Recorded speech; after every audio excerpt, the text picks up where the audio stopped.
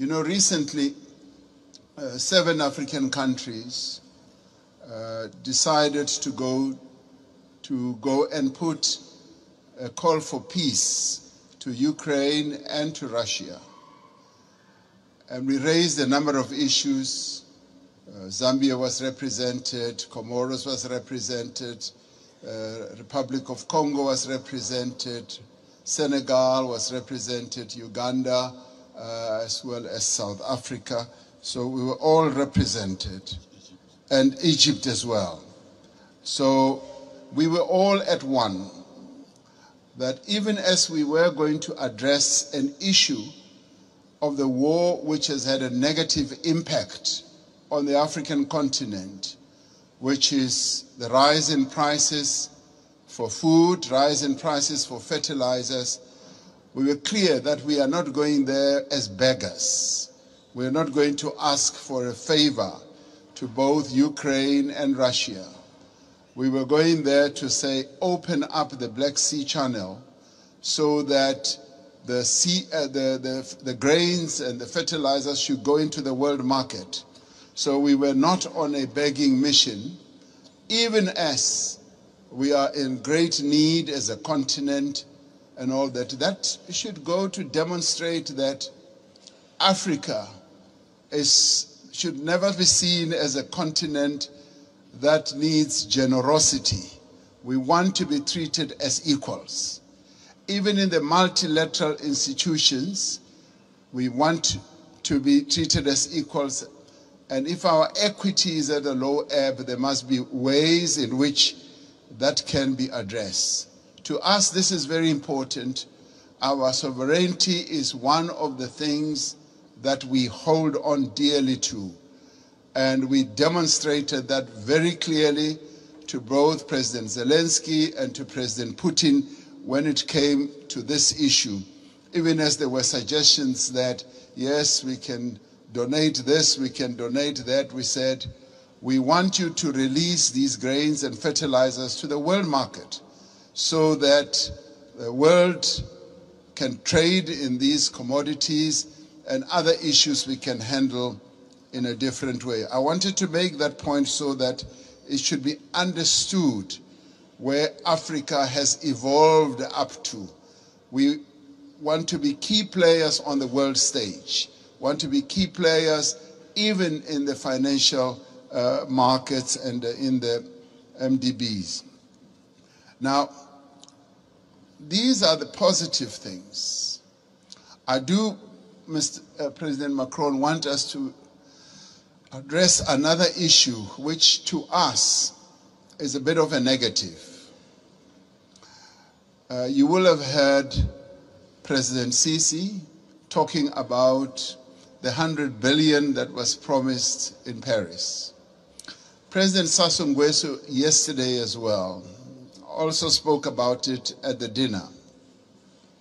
Now, there is that issue that a number of the commitments that have been made have not really been fully lived up to.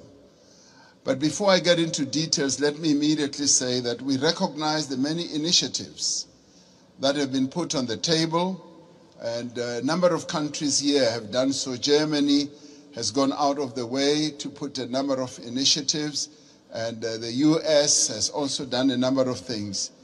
But there have been times when we felt like we were beggars. I played a key role as chair of uh, the African Union during the COVID period. We felt like we were beggars when it came to vaccine availability, when we felt we needed access to vaccines, and the northern hemisphere countries had bought all the vaccines in the world and they were hogging them. And they didn't want to release them at the time when we needed them most. And we felt like we were begging. And at times it felt like they would just be droppings from the table that, yes, we will give you that and that. And let me tell you something that, that generated a lot of resentment we, we resented that. And it got worse when we said we want to manufacture our own vaccine. And when we went to the WTO, there was a lot of resistance, enormous resistance. And we kept saying, what is more important, life or profits by your big pharmaceutical companies? And that too, I must tell you now, generated and deepened that disappointment and resentment on our part because we felt like life in the northern hemisphere is much more important than life in the global south. And these are issues that need to be addressed. And I'm glad that we are all seated here like this because we've got to get to the heart of these matters and address them. Now, I come to promises that have been made. And Chancellor Schulz was saying, Scholz was saying, we, have got to walk the talk. Yes, we want to see the talk being walked. President Sassou Nguesso yesterday said at the dinner, $100 billion was promised per year. And he was saying, I've never seen that. And many of us will testify that that $100 billion has, has never really been made available. And this should stand out as something that needs to be addressed.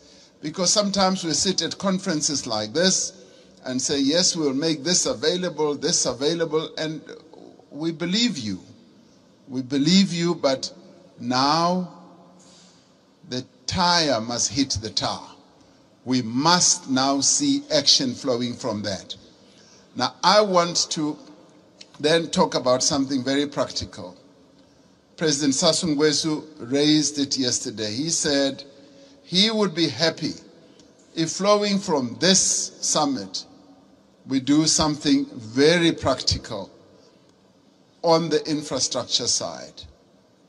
Having said that 600 million people in Africa do not have electricity, and yet we've got all the resources to generate electricity, particularly the mighty Congo River and that there have been plans to build a number of power stations that will generate, in my calculation, up to 70,000 megawatts.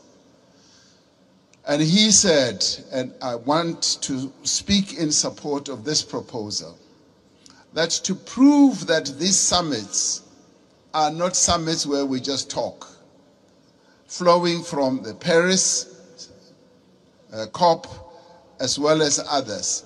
Let us now put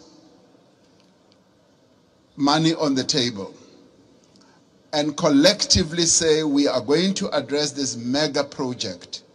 A mega project which will in the end generate electricity for up to 12, 15 African countries all at one go. And this is a project that I think the multilateral development banks here working together the call that you've made, President Macron, can actually fund. And where, as we rise from this, we should be able to say the Inga Dam is now going to be developed into the Inga Power Station, the one that President Sassou Nguesso mentioned, and the next one as well. If we can do that, then we as Africans will now be convinced that these summits are really meaningful. We will now go home and say, you know what, it's worthwhile going to these summits, coming to Europe, and to listen to all the promises because they are willing to act on the promises. This is what President Macron, I believe, will be one of the most important outcomes the reform of the financial architecture, as well as a practical project, infrastructure project that is going to uh, add a lot of value. President Sisi and I have been talking about a, a, a railway from Cape Town to Cairo for years. We will leave that for the next uh, summit, but the one on generating electricity and building uh, power stations on the Inga Dam is the most important, that is immediate, that I believe needs to be addressed now. Let's get that done, and then we will be convinced that you are serious with the promises that you make.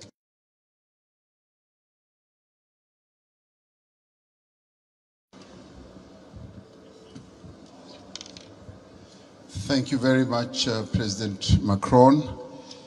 Uh, let me start off by saying, uh, President Lula, don't worry, when we have the BRICS meeting, the issue of currency is top on the agenda. So we are going to discuss it.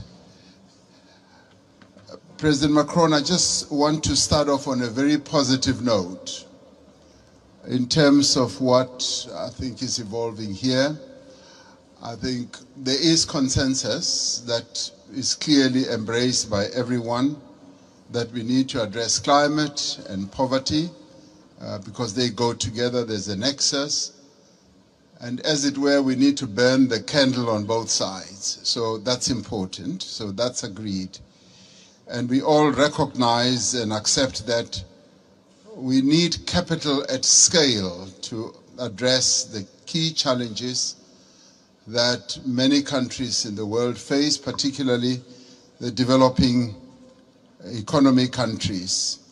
And we also would be agreed that there needs to be more cooperation and coordination between your development banks, multilateral development banks and the private sector. Uh, there needs to be coordination so that there is no fragmentation, which you kept talking about. But I think what is important to many of us is that there should be solid consensus on the reform of the financial architecture of the world.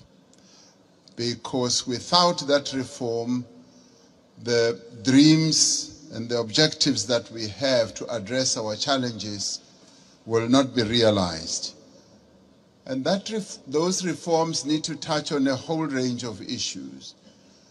Mr. Mo Ibrahim yesterday even spoke about something that we may think is insignificant, that the boards of directors of your multilateral institutions are not made up of independent directors. They are largely internal people or shareholders. So that in itself, for us, it's an important reform. Uh, we also need to look at the distribution of the special drawing rights uh, I, I, find it a bit difficult to be told that this is set in the rules and it will forever be like that, and that it's either you get zero or you get 34 billion. In our view, this is not a zero sum game. It's a game where we all need to be dealt with with equity uh, in an equitable manner. And there is a need for reform in that regard as well. And the other important thing for this to happen, uh, it will help us not to participate as unequal cousins in these institutions. It will help us to participate fully and uh, so that we don't have a sense that we are beggars, that we are being dealt with uh, out of generosity. I think it's important in the new era that the world is in now that uh, there should be a good measure of equality among sovereign nations. Thank you.